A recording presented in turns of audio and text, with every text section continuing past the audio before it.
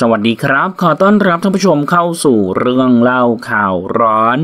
เอเชิญยิ้มถูกสาวโพส15 ปีไม่เคยเหลียวแลลูก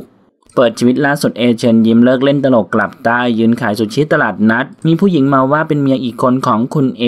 ทิ้งลูกไม่ส่งเสียมา 15 ปี วันนั้นไปเจอในโซเชียลเขาพิมพ์มาอย่างนี้เราอารมณ์โมโห ให้มาอยู่ด้วยกันช่วยกันทำมาหากิน ถ้าลูกไม่มีเรียนมาเอาค่าเทอม แต่ต้องมาช่วยฉันทำมาหากินนะ ไม่โมโหเขาเพราะว่าเราอยู่ด้วยกัน แต่ถามเขานะว่าตามข่าวมันจริงไหมมีไหมมีนอกลู่นอกทางไหมทุกวันนี้ยังคล่องใจ เอกล่าวว่าไม่มีครับคอมเมนต์นั้นมันเหมือนต้องการแซวเรามากกว่า จากข่าวเมื่อก่อนว่าตลกจะมีลูกโผล่เลยมาคอมเมนต์สไตล์นี้ คงจะขำๆแต่นี้เขาไม่ขำด้วยไง วันนั้นผมไปแจ้งความนะที่ปอท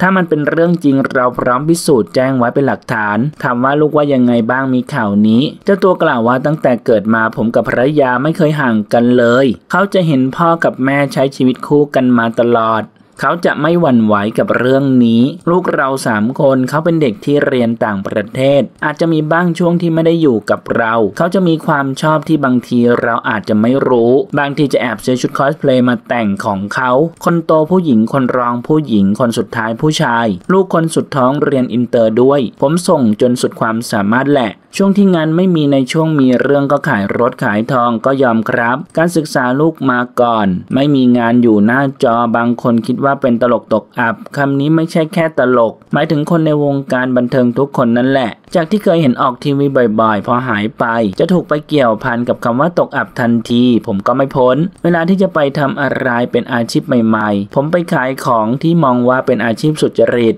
ซึ่งคนอื่นก็ทำเวลาไปขายจะโพสต์ลงโซเชียลก็จะมีคอมเมนต์เหล่านี้มาถากถางเสียดสีเรา จะเข้าไปแตะคำว่าตกอับตลอด ถ้าถามตัวผมเองกับคำนี้ผมไม่กลัว เพราะผมมีคาถาดีคาถาผมมีอยู่ 5 อย่าง ไม่เล่นการพนันไม่ยุ่งสุรายาเมายาเสพติดรักครอบครัวขยันไม่นอกใจ ใครมี 5 ข้อนี้ชีวิตคุณจะไม่เข้าไปข้องเกี่ยวกับคำว่าตกอับเลยครับ ท่านผู้ชมนะครับ มีความคิดเห็นอย่างไรกับเรื่องนี้ลองแสดงความคิดเห็นกันเข้ามาดูนะครับ ขอขอบคุณข้อมูลจากไทยสยามนิวส์ขอบคุณครับ